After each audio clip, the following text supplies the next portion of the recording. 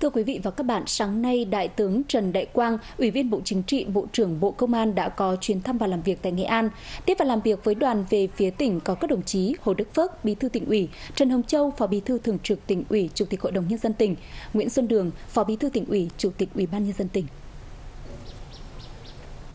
Trước khi làm việc với Công an tỉnh, Bộ trưởng Bộ Công an Trần Đại Quang cùng các đồng chí lãnh đạo tỉnh đã về khu di tích Kim Liên dâng hoa, dâng hương, tưởng niệm Chủ tịch Hồ Chí Minh, bày tỏ tấm lòng thành kính và biết ơn vô hạn công lao to lớn của Chủ tịch Hồ Chí Minh, vị lãnh tụ thiên tài của Đảng, người cha thân yêu của các lực lượng vũ trang, người đã dâng hiến trọn đời cho sự nghiệp cách mạng Việt Nam, Bộ trưởng Bộ Công an Trần Đại Quang và đoàn công tác nguyện hứa sẽ cùng với cán bộ, chiến sĩ lực lượng công an cả nước thực hiện tốt 6 lời Bác Hồ dạy đối với lực lượng công an nhân dân, quyết tâm thi đua, lập nhiều thành tích xuất sắc hướng tới kỷ niệm 70 năm ngày truyền thống công an nhân dân, 10 năm ngày hội toàn dân bảo vệ an ninh Tổ quốc.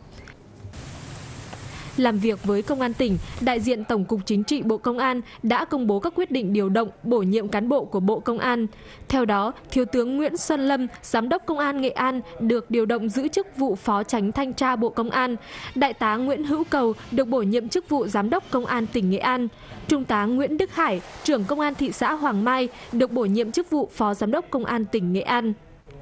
trao các quyết định và chúc mừng các cán bộ được điều động, bổ nhiệm. Bộ trưởng Trần Đại Quang và Bí thư tỉnh ủy Hồ Đức Phước mong muốn trên cương vị mới, các đồng chí sẽ tiếp tục hoàn thành xuất sắc nhiệm vụ được giao, góp phần làm tốt công tác đảm bảo an ninh trật tự, phòng chống tội phạm, tạo môi trường thuận lợi cho việc thực hiện các nhiệm vụ kinh tế xã hội của địa phương.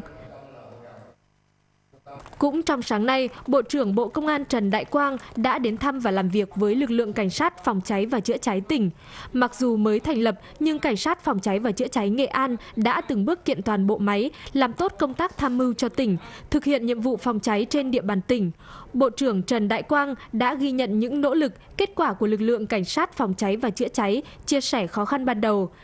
Thời gian tới, Bộ Công an sẽ tiếp tục quan tâm hỗ trợ, giúp đỡ đơn vị xây dựng hoàn thiện cơ sở vật chất, hạ tầng, phương tiện tác nghiệp. Bộ trưởng Bộ Công an Trần Đại Quang và lãnh đạo tỉnh cũng đã trồng cây lưu niệm trong khuôn viên Cảnh sát phòng cháy và chữa cháy Nghệ An.